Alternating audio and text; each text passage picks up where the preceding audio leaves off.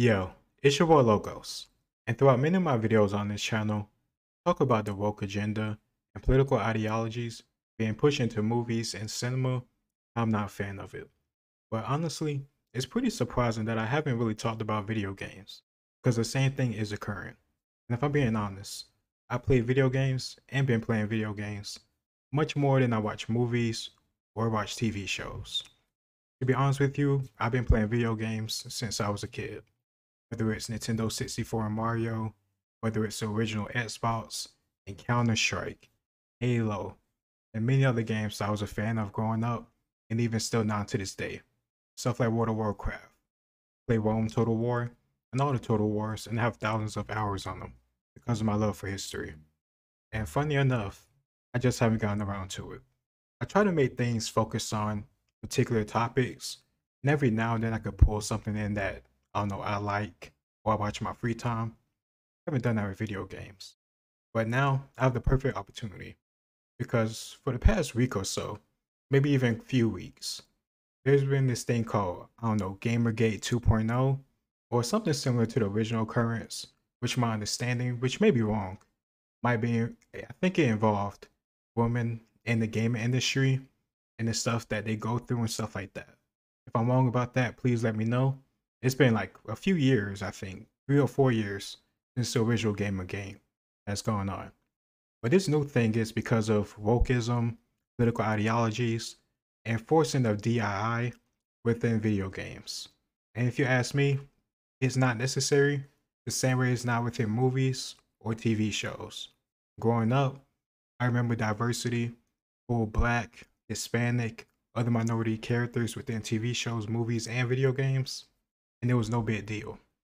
I think part of the reason why people are so anti against this stuff is not because they're racist or sexist or phobic this or phobic that. It's because they sick of the heavy handedness. Nothing subtle. It's not about putting a black character into a video game or a show. It's more about putting them into the game or show and then having that person be a vector or a, I don't know, a mouthpiece for whatever ideology that studio, that writer, or that I don't know, back investor want them to say.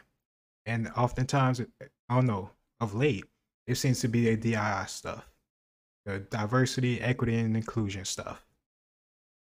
If you ask me, similar to the Bud Light situation, you're here to make video games, you're here to make movies.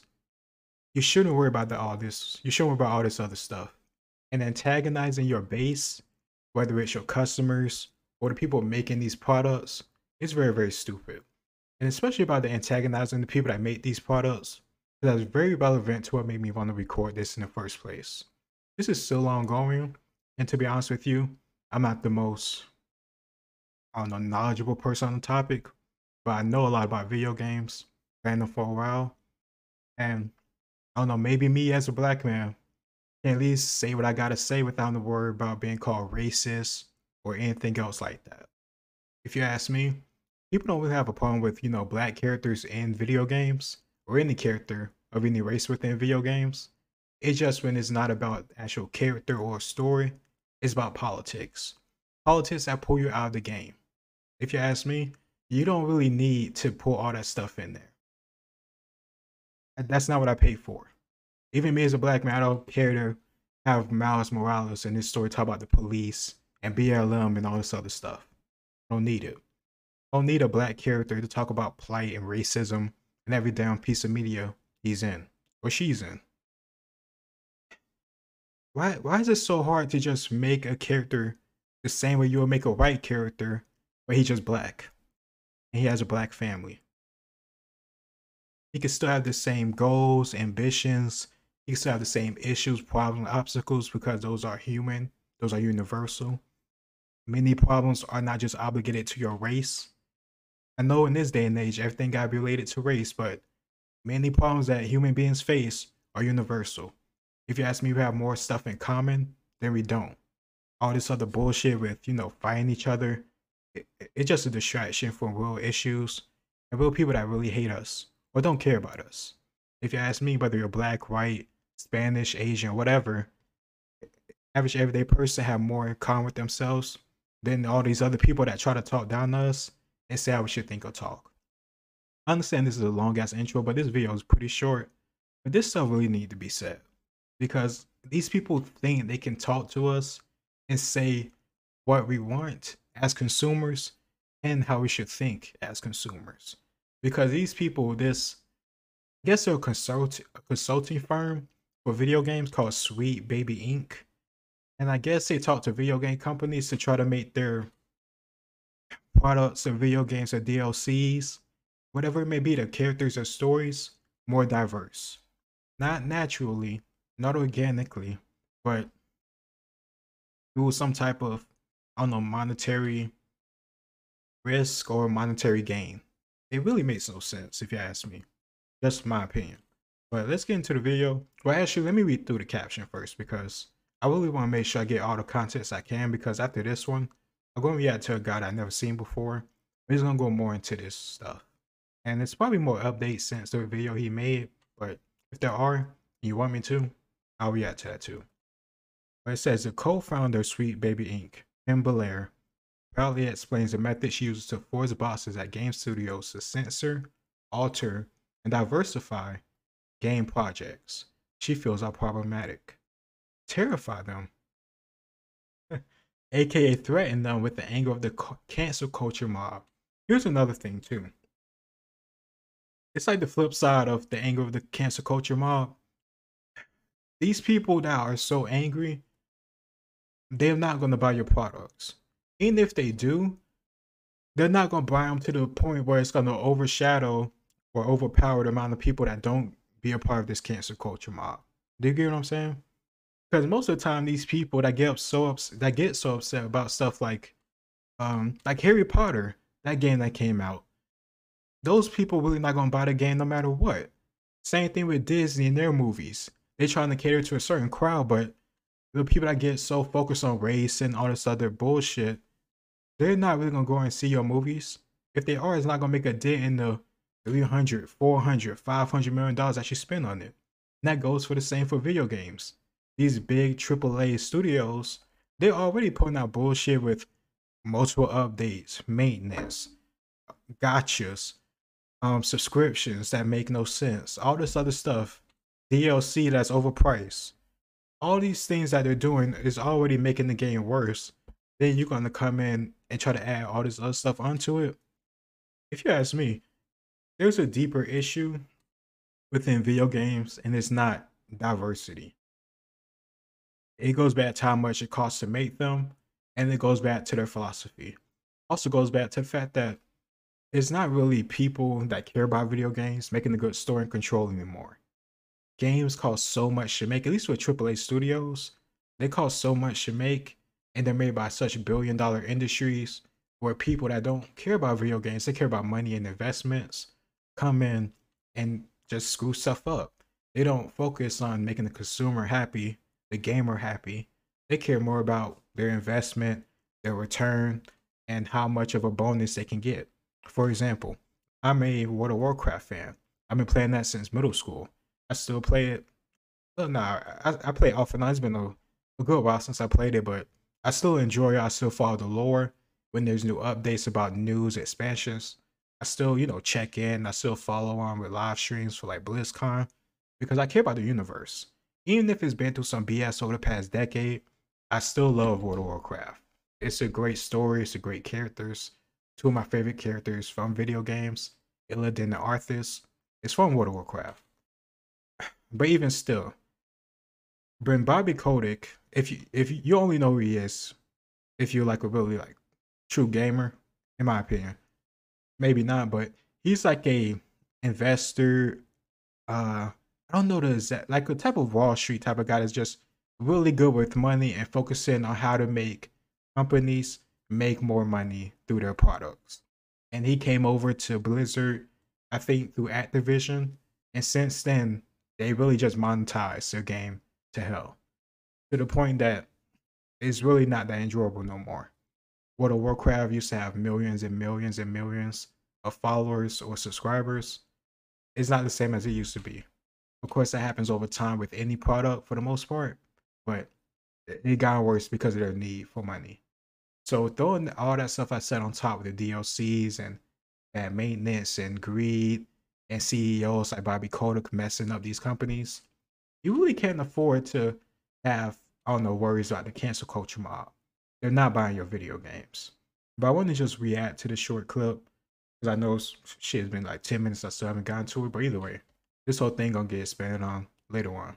But I just want to see what she says, just in case maybe this caption is taken out of context. I don't think so, but let's just get to it. Um, if you're a creative working in AAA, which I did for many, many years, um, put this stuff up to your higher ups. And if they don't see the value in what you're asking, um, if you're a creative working in AAA, which I did for many, many years, um, put this stuff up to your higher ups. And if they don't see the value in what you're asking for when you ask for consultants, when you ask for research, go have a coffee with your marketing team and just terrify them with the possibility of what's going to happen if they don't give you what you want. Um, if you're a creative working in AAA, which I did for many, many years, um, put this stuff up to your higher ups. And if they don't see the value in what you're asking for when you ask for consultants, when you ask for research, go have a coffee with your marketing team and well, okay. So basically just reinforcing what it said in the caption. So yeah, they didn't take it out of context. And she's encouraging other people to do the same. I saw Asmongold say, and I agree with him, that this is a deeper rooted issue than Sweet Baby Inc., the consulting firm that's really getting the heat of this whole issue right now with Gamergate 2.0 and the DEI, diversity, equity, inclusion stuff and pushing games and stuff like that. He said this is just a, you know, just a face or scapegoat of the overall issue. It is more deeply rooted. And I agree with that because it's a whole philosophy that's going on in media as a whole TVs, movies, video games, a whole bunch of other stuff where people of a, such a small minority can scream and cry and bitch and moan over really nothing of substance, but still these companies want to listen to them anyway to the detriment of their properties, to the detriment of their consumers. Because, eh, and of course, wait. So this is like a, I see, I just now seeing the date. So this is a few years old, but it, this whole thing is still relevant because this Sweet Baby Inc thing and this ongoing controversy is, you know, just now happening. So even though this date says from 2019, and we you know almost five, almost like exactly five years ahead of this, we're seeing that they're having a I don't know effect because if you go on their website, you can see a list of games that they have worked on, and a few I think Forspoken I think that was on there, but I think a few more they had more of this D DEI stuff, and it wasn't natural, it wasn't organic, it was shoehorned in, and that's the issue. When you can't just focus on telling a good story, it messes up the whole product, and that's what I'm going for. I was going to do a video about Angrboda from God of War Ragnarok being in the game. She's like a young, like 13, 14 year old black girl that's in the game. And me as a black man personally, it threw me the hell off because how did she get there? This is a Norse mythology Viking game. How, what black people was there? How is she a giant? it, it just didn't make any sense. There was another black guy in the game too, and that threw me off too because once again, for the exact same reasons, it just made no sense. If you want to have black characters within your video game, tell with it to have a game within the right context, telling the proper story or age, time period, whatever, where it makes sense. Not because you need to fill a quota. I think actually I'm glad I brought that up. I think Sweet Baby Inc. for my memory, I could be wrong on this. I think they actually did like consult with um uh, how am I forgetting them? Santa Santa Mon- Santa Monica Studios, the people that make God of War and God of War Ragnarok. So unless I'm wrong on that, damn, it made sense why now why she's in the game, the other black guys in the game. It, it just really stuck out to me like a sore thumb, and that's not a bad thing to think. That's not a racist thing to think. It doesn't make sense within the story and the context and the setting. Come on, like if we had a Nubian God of War game and just had a random white guy there, and it wasn't like during the time of the Romans when um, Augustus Caesar and after the death of Julius Caesar was like happening, and and it made sense historically too because Nubia, unless I'm getting confused with Ethiopia, but I'm pretty sure Nubia. Nubia and Rome had like a conflict for a little bit. And of course, they eventually got crushed by Rome because Rome was so huge, so powerful, the legions, the generals. But having that type of interaction, a white guy in a Nubian game, it makes sense if that's the setting that you're having. That's all I'm trying to say. And I think that's how most people feel. There's nothing wrong with having black characters in video games or any type of media. It's the way that it's happening where you just have it where it makes no sense. Come on, a black Viking, a black Norse character, a black a black teenage girl in Scandinavia. Come on, make it make sense. It doesn't make any sense. And that's the issue. And we had black characters, black video game characters like Sergeant Johnson, like Cole Train from Gears of War. Man, like this is not a racist type of thing. It's just unnecessary, shoehorned, forced. And people are sick of it. They truly are sick of it. And these companies are so stupid that they can't realize listening to these people worried about a small percentage of people is somehow more important than you know your legions or hundreds, millions of fans that you really do need to make more video games and to sustain your careers. I don't get it. But let me know what you think in the comments down below. I know this was like just mostly me ranting, but it is what it is. I really don't talk about video games much, but I have a lot to say when it comes to this stuff because it's relevant. And still I can make it within the context of the overall channel and the overall I don't know, purpose of it. Talking my politics, societal stuff, knowledge, such and so forth.